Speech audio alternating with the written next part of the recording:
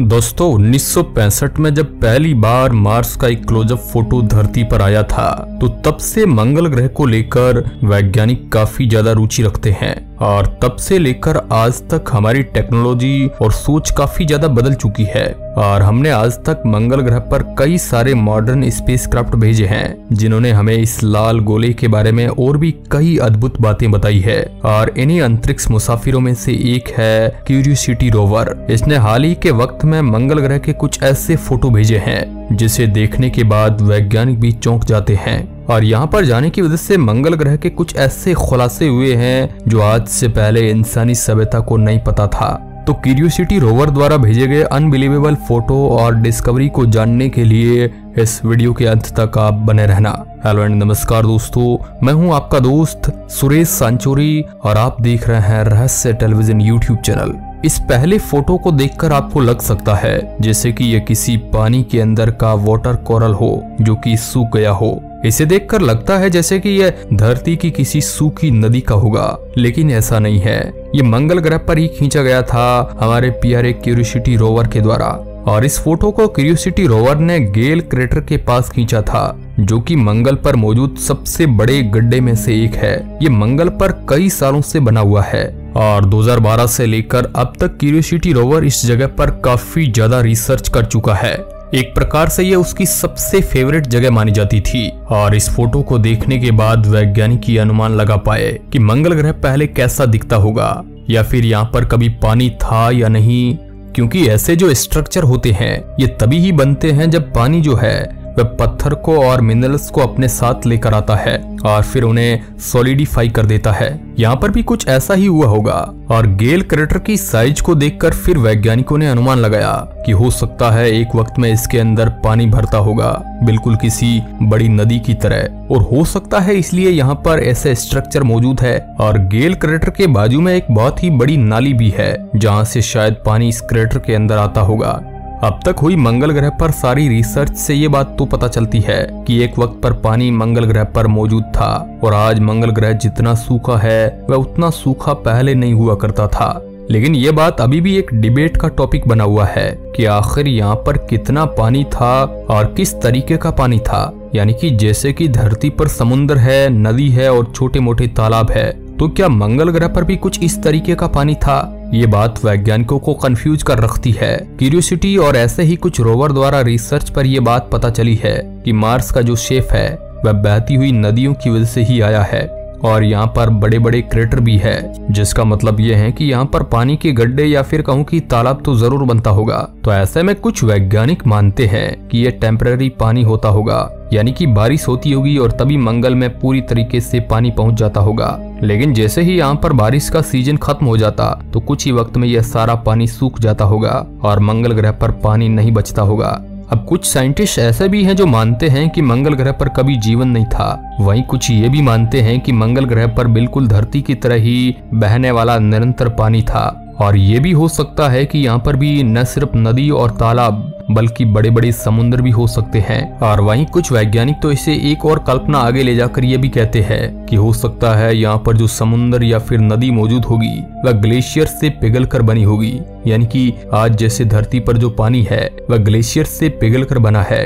आपको भी पता होगा कि लाखों साल पहले आइस एज आया था, जिसमें पूरी धरती बर्फ़ में जम गई थी। और इसके बाद ये बर्फ़ पिघल और उसने समुद्र और नदियों का रूप धारण किया। आज भी नॉर्थ और साउथ पोल में बर्फ़ जमी हुई है, जो कि धीरे धीरे पिघल रही है। ग्लोबल वार्मिंग की वजह से हो सकता है मंगल ग्रह पर भी एक वक्त में काफ़ी बड़े ग्लेशियर्स मौजूद होंगे और उनके पिघलने से ही पानी बना होगा। और ये सारी आकृति बनी होगी, जो कि मंगल ग्रह पर आज हम देखते हैं। और मंगल ग्रह का शेप भी शायद इसी की वजह से बना होगा। और ये हमें ये भी बताता है कि यहाँ पर इतने बड़े बड़े क्रेटर, क्योंकि ये कुछ और नहीं बल्कि पानी के गड्ढे हैं, यानी कि तालाब होंगे। और अगर ऐसा है तो ये बात भी निकल कर आती है कि यहाँ पर जीवन भी हो सकता है। क्योंकि अगर ये बिल्कुल धरती की तरह होगा तो धरती की तरह यहाँ पर भी जीवन होने की भी संभावना बढ़ जाती है।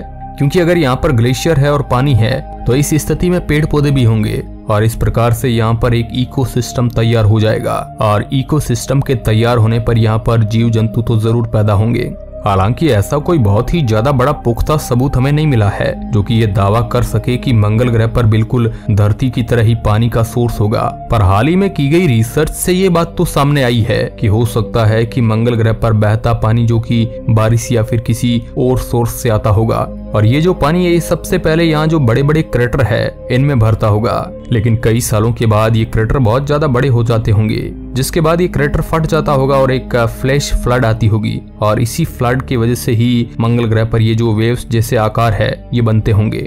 और ऐसे फ्लैश फ्लड की वजह से ही मंगल ग्रह पर नदी बहती होगी। ये जानने के लिए वैज्ञानिकों ने मंगल ग्रह पर पुरानी नदियों को समझा, जो कि सूख चुकी है। और इन्हें समझने के बाद वैज्ञानिकों ने यह माना कि यहाँ पर इन फ्लैश फ्लड की वजह से ही नदियाँ बनी होगी। और इन नदियों ने 14 बिलियन क्यूबिक मीटर जितने तलहट को अपनी जगह से हिलाया होगा, जिसकी वजह से मंगल ग्रह पर ये जो अजीब आकृति और पहाड़ बने हैं, इनका निर्माण हुआ होगा। इसी के साथ मंगल ग्रह की जो बहुत ही ज़्यादा बड़ी वैली है, माँ अडमा वैली इसके अंदर जो दरारें और कलेफ्ट बने हुए हैं, वह शायद तक ऐसे ही किसी फ्लैश फ्लड की वजह से बने होंगे, जो कि गड्ढे में से एक्सप्लोड हुआ होगा। अब सवाल उठता है ह्यूमन लाइफ का, मंगल ग्रह पर पानी है या नहीं, इसी के साथ साथ एक और सवाल है, जो कि वैज्ञानिकों और आम लोगों के मन में हमेशा से बैठा हुआ है, और वह है कि क्या यहाँ पर कभी ज़िंदगी मौजूद थी? यानी कि जैसे कि धरती पर हम रहते हैं, वैसे ही क्या मंगल ग्रह पर भी कोई रहा करते थे? पिछले कई सालों से रिसर्च करके हमने ये बात तो पता लगा लिया है